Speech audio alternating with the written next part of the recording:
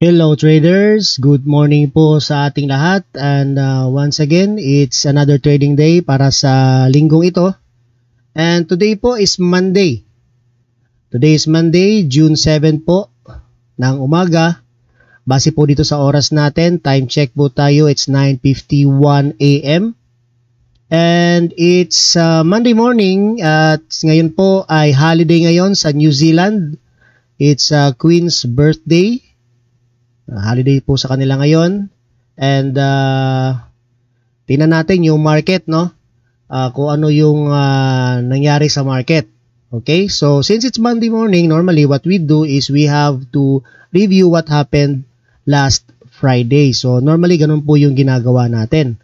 Okay? So, uh, Actually, uh, pag sinabi nating previous trading day, that was Friday. So, ibig sabihin, Friday po yung ating sisilipin. Hindi po kahapon. Kasi Sunday po kahapon, walang Walang trading po pag Sunday tsaka Saturday. So what we are going to do is we have to review what happened last Friday. So uh, sa mga members po natin, sa mga VIP members natin sa Rich.ph, uh, may access po sila dito sa Telegram wherein uh, may mga trade signals po tayong binibigay. At uh, yan po, yan po yung mga trade signal natin last Friday. At uh, hindi naman natin tingnan lahat but uh, at least ano no, silipin natin yung iba. Okay? Uh, try natin, try natin silipin kung ano yung pwede natin makita. Right? So, again, uh, Friday po ang ating titingnan. So, uh, if we are looking in our economic calendar, so dito sa website natin, www.rich.ph.com, pag nandun ka na sa website natin, just, uh, ano lang, itapat mo lang yung mouse sa analytics section tapos lalabas yung pull down menu, tapos punta tayo sa economic calendar. Normally ganun ang ginagawa natin, okay? So ngayon nandito tayo sa economic calendar. So what we're going to do is we have to check last Friday's uh, economic events. So click natin ito, itong uh, yan, yan, yung calendar na yan. Tapos uh, Friday is uh, June 4. Yan no? So click natin yung June 4. So yan, kasi yan lang yung i-select natin, June 4 lang. So click natin apply. So, right away, machi-change po yung information na makikita natin sa economic calendar. Okay, so, what happened was, sobrang dami pong ng balita last Friday. Okay, and it started with, uh, yun, madaling araw, yung uh, speech ng mga, ano, uh, kagaya nito, sa UK, Bank of, England, tapos FOMC members ng uh, Federal Reserve, Then, uh, by morning, uh, nag-release ang Japan, tapos Australian dollar, tapos kinapunan, Swiss franc, euro. But what was really, ano, uh, given an impact sa trading last Friday was more on US, which is the non-farm payrolls, basically. Okay, so, what happened was, medyo pangit yung data na nilabas ng non-farm payrolls pero hindi naman totally pangit lahat. Okay? Um, ito may average early earnings naman na okay naman yung average early earnings nila. Tapos yung unemployment rate nila is lower. So ibig sabihin uh, kakaunti yung ano yung uh, walang trabaho. So maganda 'yon para sa economy ng isang bansa. And also kasabay ng balitang 'yan is uh, also with the Canada. No, so meron silang employment change which is uh, uh, bumaba yung employment nila ng negative 68. So ibig sabihin mas lalong ano uh, walang trabaho or nawalan ng trabaho. Tapos uh, walang changes doon sa kanilang unemployment rate base sa kanilang ano um, forecast. Pero compared to previous data which is 8.1 tapos naging 8.2 yung unemployment. So ibig sabihin tumaas yung dami ng walang trabaho. Okay? So, ganun po yung nangyari. Now, so, uh, as a trader, dapat alam mong i-translate yan sa iyong trading platform. Alright? At, uh, syempre, yung kagandahan ng website natin, kasi nga, ang uh, advantage nito is, uh, nakaset po ito lahat. Okay, nakaka-filtered na po yan base po sa atin pong needs. Otherwise, kung gusto mong mag-explore-explore, just visit investing.com, makikita mo yan doon. Sa website kasi natin, naka-filtered na yan. Base lang sa mga needs natin. So, we try to remove the noise, no? Na hindi naman natin kailangan. Kasi pag nasa investing.com ka, sobrang dami po ng informations doon. So, mga information overload tayo. Okay? Now, okay, so what happened last Friday? So, tingnan natin, silipin natin yung atin pong uh, trading platform wherein ay compare natin yung mga trade signals po natin. So, kung napansin po ninyo, um, medyo wala tayong US dollar gaano na trades uh, except sa gold tsaka GBP USD. Nag-trade po tayo diyan. So, may buy signal po tayo sa GBP USD at may buy signal din po tayo sa gold. Uh, wala nga lang gold dito sa akin chart. Okay, so let's try to check the GBP USD. Uh, nasaan na ba yun? Ayun, ito, GBP USD. So dito sa GBP USD, nagbigay po tayo ng buy signal last Friday. So we given ano um buy signal. Yung buy signal po natin last uh, Friday was ano um Gawin natin itong kulay green. Yung buy signal natin. Tapos kapala natin ng konti. Yung uh, buy signal po natin is around 1.41. So ayun po yung 1.41. So nagbigay po tayo ng buy signal which is uh, that was given yes ano last Friday at 10:42 AM. 10:42 so nandito pa yung price 10:42. So nung uh, nag 1.41 yung price, nag-trigger po tayo ng buy signal wherein yung um, TP po natin, tatlo po yan, TP1, TP2 at TP3. Unahin po natin yung TP1. Yung TP1 po natin was around um, uh, 1.40 1.3. So, medyo ano, payat na konti. Ayan, yan po yung TP1 natin. So, may TP2 tayo at around, oh, hindi ko maklik. Ayun. Uh, ah, TP2 po tayo at around uh, 5. Ayan, oh, yan. Halos nandyan. So, yan po yung TP2 415. Tapos, we have our TP3 at ano, uh, 1418. So, ito gawin natin 8. Now, yung tanong, tinamaan po ba yung mga take profits natin last Friday sa GBP USD? Mukhang tinamaan po yata hanggang TP3. Okay, so congratulations po doon sa mga sumabay po sa trade signals natin. And uh, sana po no, uh, napakinabangan niyo po lahat ng uh, pinagagawa natin dito kasi unang-una uh, we tried our best to provide the best trading signal dito po sa Rich.ph kung saan uh, lahat po ng mga members na VIP ay nakaka-access po ng libre no Uh, hindi po nila binabayaran yan. So what we do is we provide these trading signals nang sa ganoon is uh, kahit paano no mapakinabangan po sa lahat po ng mga members ng Rich Dad PH. Now, what's next na pwede natin? So by the way no, just ano sa mga members no na nasa loob na ng VIP room, may pinned message po tayo in a daily basis. Ibig sabihin, pag click mo po niyan, uh, ano po, yung uh, current trade signal or signal summary po ay nandyan. So, uh, since uh, wala pa tayong trade signal as of uh, this morning, kasi maaga pa, wala pa tayo ganong trading analysis, So that's the reason why. But actually sa totoo lang, GBP USD, oh, yan, oh, may uh, sell signal na po dito, yung uh, active trader signal natin. Pero wala pa tayong uh, trigger. Kasi kakalampas pa lang po ng uh, pivot point and at the same time, hindi pa po tayo nakagawa ng uh, technical analysis. Nasa review moment pa lang po tayo. But uh, if you are looking on the 30-minute chart ng GBP USD, kung i-zoom out po natin, ayan po siya. Yan po yung uh, parang binubuo niya ngayon na down channel. And by the way, it's the 30-minute chart. Okay? Huwag niyo pong kalimutan, nasa 30-minute chart po tayo. And uh, if you could remember, uh, previously, may single sell signal din po tayo. Uh, tinamaan din po hanggang TP3. And I think this was ano, uh, Tuesday. Nagbigay po tayong trade signal ng sell sa GBP USD last Tuesday. And uh, yan, kitang-kita naman, tinamaan naman po yung uh, trade signal natin dyan sa GBP USD. So, uh, last Friday, ayan po, uh, congratulations po doon po sa mga nakasabay dito po sa atin pong trading signals. Okay? So, uh, next is siguro ito, ito, Euro NZD. Tingnan natin. Euro NZD um, Euro NZD. Saan ba yun? Ayun, ito to. Euro NZD. So, sa Euro NZD, actually, uh, binigay natin to. Late na yata to binigay eh. Euro NZD, hanapin natin. Euro NZD. Ayun, 1.33 p.m. So, hapon, siguro mga dito na side na yata yon Dito na portion. So nasa kalagitnaan na po tanghali. So what happened was nagbigay tayo ng sell signal um, Euro NCD. So yan po yung mga sell signal sa ating kahapon. Anong lang nung Friday. So meron tayo sell at uh, 1.6935 which is uh, this location. Tapos uh, TP1 at 69145 ito tinamaan siya. TP2 8950 yan. So kung i-measure natin siya, I think hindi naman to kalakihan. So ito nasa 20 pips. TP2 natin is nasa 40 pips. TP3 natin is nasa 60 pips. Kung sumabay po kayo. Okay?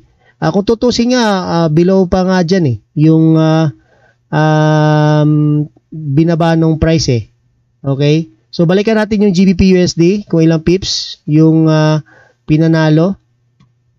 So uh, kung nakasabay kayo ng buy signal mula sa 1.41, uh, nasa 30 pips po yung TP1, uh, 50 around 50 pips po yung TP2, TP3 is around 80 pips. So nasa 80 pips po yung uh, hinarvest kung inabot inabot niyo po yung from uh, buy position hanggang TP3.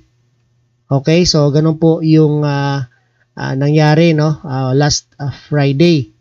Okay, so uh, to go back in our website, um, kung sisilipin natin yung ating currency monitoring, what happened was, uh, by the way, no, it, uh, this this is today. Okay, this is today. So, ito po yung nangyari as of this moment. So, kanina pag open ng market, uh, bumagsak yung uh, New Zealand dollar, eventually bumal bumalik. And I think uh, reaction lang yata ito dahil sa holiday ng New Zealand. And for now, uh, medyo wala pa tayong nakikita, no? Or somehow, uh, as we look at the current situation ng market, ang US dollar po is nasa taas. Around 10 na po siya, 10 points.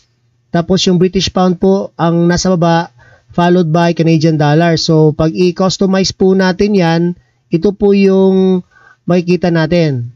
Okay, tanggalin din New Zealand dollar. So, yan, yan po yung nakikita natin as of this moment. So, meaning to say, if this will be the case na nakikita natin, GBP USD is uh, sell and uh, sa Canadian dollar naman, USD CAD, it's buy. No? Buy for the USD CAD. Okay, uh, base po yan sa ngayon, no, as of this moment. O, wala pa naman tayong ginawang analysis dyan for now. But as I look at it, it's a sell for, for GBP USD. It's another sell. Again, it's another sell for GBP USD and a buy for the USD CAD. Okay, silipin natin yung trade signal natin. May USD CAD ba tayo? Okay, wala tayong USD CAD last, ano, last Friday, wala. Okay, but uh, kung silipin natin last Friday, just click yesterday kasi yung naka-record lang naman dito is Friday. Kung i-click natin yung yesterday, so yan po yung nangyari. Okay, last Friday. Yan po yung uh, currency performance last Friday. So, uh, kitang-kita naman, no? Bagsak na bagsak yung uh, US. Tapos, uh, lumilipad po yung Australian dollar. So, ibig po sabihin yan, lumipad po yung gold.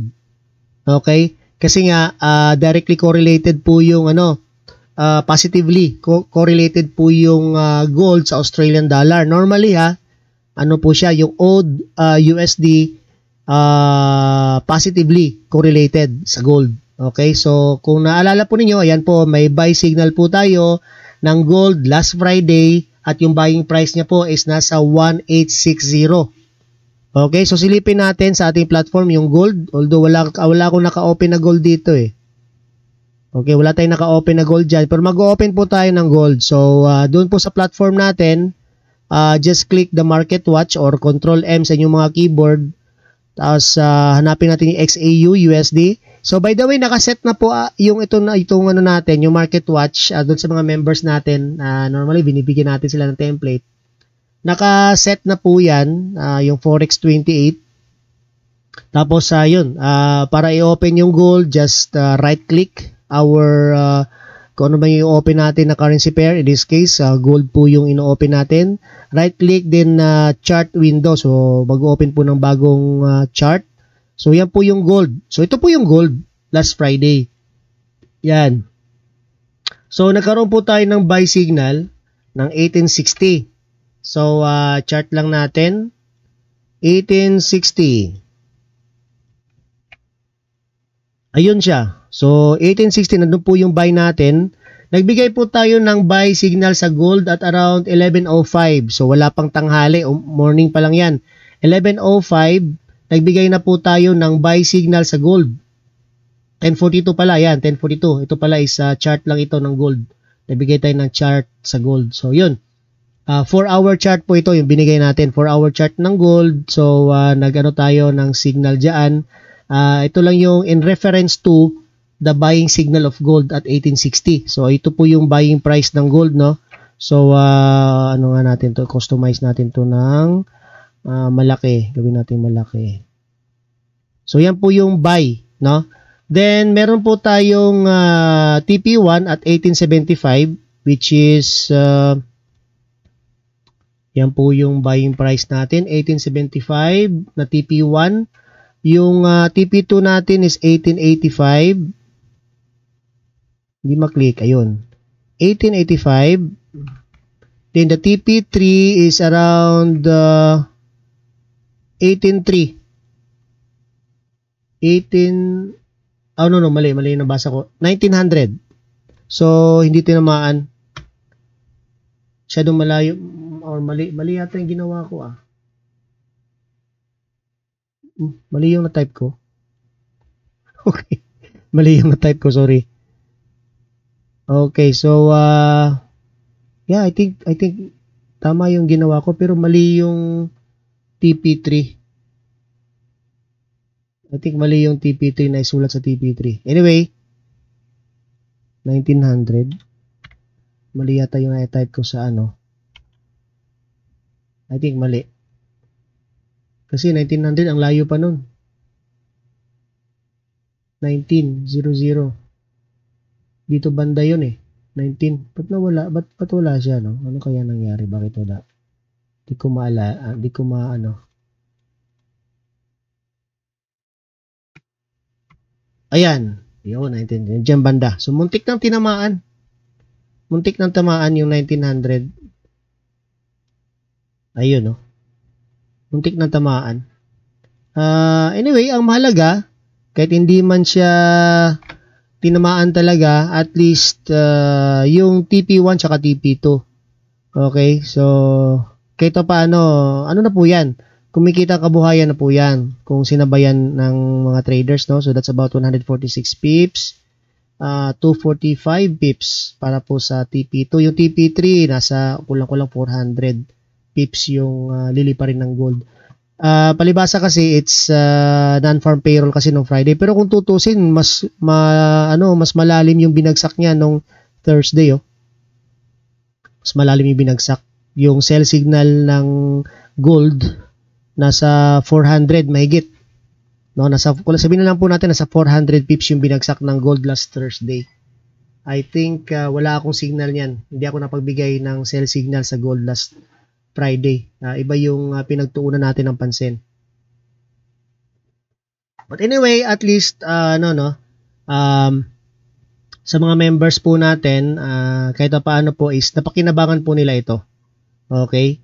na kahit paano uh, kung sinabayan nila, chances are uh, kumita din po sila sa ano po sa mga binibigay nating trade signal. Okay, so by the way, no, um, if you really wanted to become a member ng uh, Rich Dad PH at maging part ng VIP member natin at you are watching right now, no, sa video na to, ito po yung VIP access. Simply click the VIP access. Pag na-click mo po yan, mag-open po ito, yung Rich Dad PH member guidelines. So, uh, ito ba, video po tayo dyan. Pwede nyo pong panoorin. Then, um, yan, marami tayong video na ginawa dyan, pinapre, na-prepare dyan para po ma-access po ninyo itong pong VIP room natin kung saan nabibigay po tayo ng mga libreng trade signal. So, just follow the instructions paano maging member. Libre lang naman po. At uh, para po pakinabangan po ninyo yung mga trading ideas po na sinishare po namin dito. Okay, so uh, ganun po. Then, uh, siguro ano muna ah uh, abang-abang lang no sa mga ano natin sa mga VIP members natin kasi gagawa pa tayo ng mga analysis and uh, later siguro uh, magbibigay tayo ng mga updates no dito po sa atin pong VIP room. Ang mahalaga ay uh, nabigyan namin kayo ng uh, isang uh, video para sa araw na to at uh, at least nakikita po ninyo no kung ano po yung mga nangyari last Friday. And uh, again, sabi ko nga dito sa ating araw na to, ang nakikita natin is uh, itong tatlong to. Okay? It's gonna be a uh, sell for GBP USD and a buy for USD CAD. But again, hindi pa naman natin ito nasilip, so titingnan pa natin kasi we still have to do our uh, technical analysis and some basic anal ano, fundamental analysis para ma-confirm po natin na totoo po ba yung uh, strength ng US dollar against the British pound and the Canadian dollar. Okay, so uh, sa mga ano gustong kumontak sa Axie, uh, meron po tayong uh, contact number. Ito ito nasa baba, yung uh, yung data na yan, yung information na yan, uh, nandyan po yung contact number or contact details po ni Ma'am uh, Katrina, yung account manager po ng uh, uh, Axie Philippines na naka-assign po sa Rich Dad PH. So uh, sila po yung uh, makakatulong po sa inyo para kayo po ay uh, create ng yung trading account at maging uh, member po ng Rich Dad PH. Okay, so uh, again, maraming salamat. Then uh, thank you for uh, continuing or your support and uh, sa mga hindi pa po naka-like po ng ating uh, YouTube channel, uh, just press uh, subscribe and uh, mag-like din po kung sakaling uh, naging ano po, uh, naging uh, informative naman itong ginagawa natin. Okay, so maraming salamat at kita-kita po tayo sa next video po natin. Bye for now.